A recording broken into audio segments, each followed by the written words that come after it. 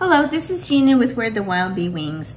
And thank you so much for joining me for a little devotional and some Bible journaling. And um, we'll be going over the readings for today. So I'm trying to read the Bible through the year and the plan that I'm using. Today's readings are Genesis chapter 9, verses 1 through chapter 10, verses 32. So it's chapters 9 and 10. Psalm 3, 5 through 8. Proverbs 1, verses 23 through 27. And Matthew 5, verses 1 through 26.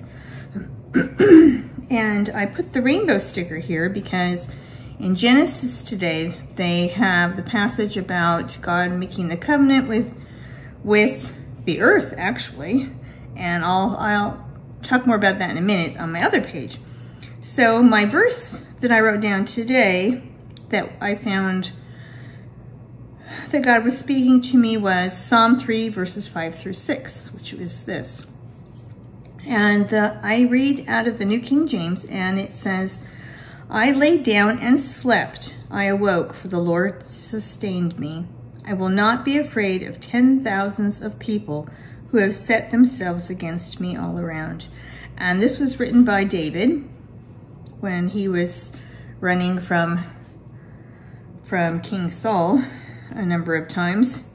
And um, I like this verse a lot because sometimes I try to sleep, I can't sleep, and I just pray and God sustains me regardless of how many hours that I sleep. The Lord sustains me.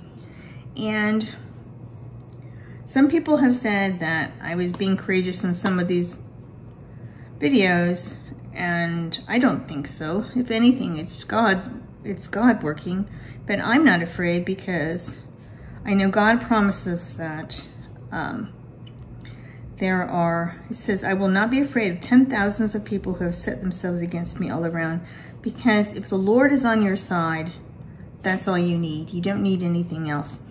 And there are armies of angels about that. Most of the times we can't see, sometimes we can see. So that is, that's a little bit of the reading today. And so on this page, in my prayer, in my uh, prayer journal or my Bible journal, they have the grade of the month. And um, so for today, I put down, okay, I didn't write the verses down, but it was in chapter, chapter 9 or chapter 10. I think it was chapter 9. But God says, he's, he says, I set my rainbow in the cloud, and it shall be for the sign of the covenant between me and the earth.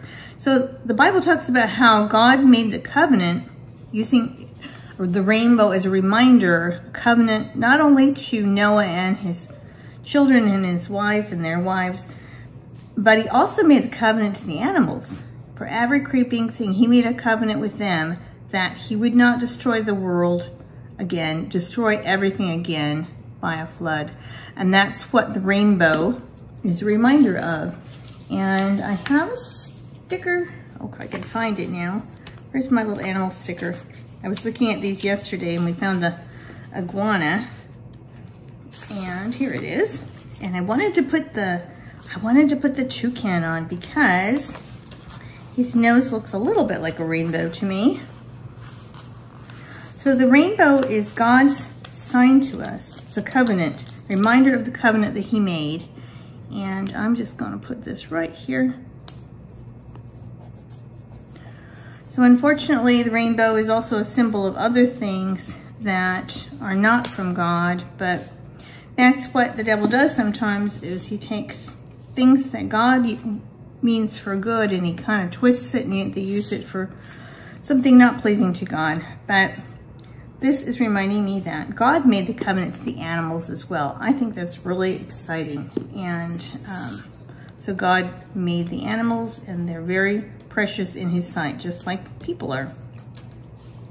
So before we do J.R. Miller, I forgot to do my verse this morning. I got carried away and I did not share this verse. So this is from the new, this is from King James and this was a gift from my friend Annie and it's Thursday, January 5th. It says, from 2 Corinthians 2, verse 14.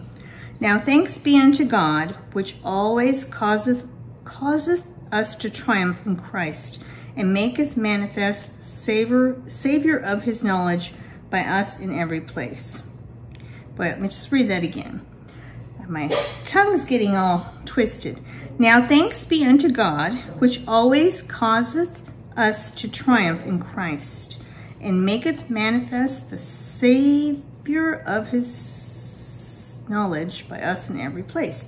That part's tripping me up a little bit.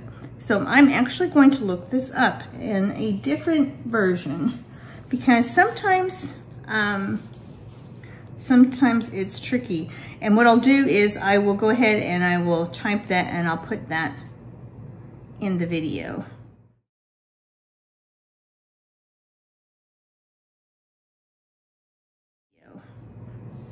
So that's that's that. Sometimes I love King James, but sometimes it's a little bit tricky. it's the old English is a little bit hard to, um, it's definitely hard to speak, that's for sure. And um, I will share that and I will type that out for you. So J.R. Miller is a gentleman born 1840. He died in 1912 and he was a great believer and um, very wise. So he has January 5th, Prayer in busy days. It is in prayer that God shows his face to his children, that they have visions of his beauty and glory, that the sweet things of his love come down as gifts into their hearts, and that they are transformed into his likeness. If you would be blessed, get many seasons of prayer into your busy, harassed, tempted, struggling life. It is in these quiet moments that you really grow. Somewhere in every vexed, feverish day, get a little silent time for prayer. It will bring heaven down into your heart and make you strong for service. And it definitely will refresh you and just help you persevere.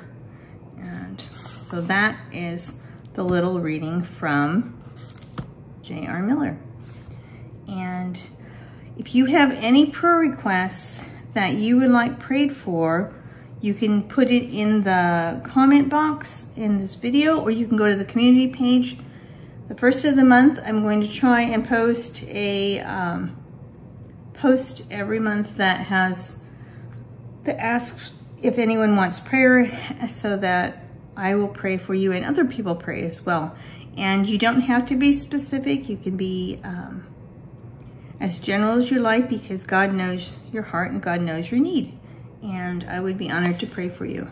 So, thank you very, very much for watching, and um, I'm excited to share these little tidbits of God's Word with you, and God bless you this day. Bye-bye.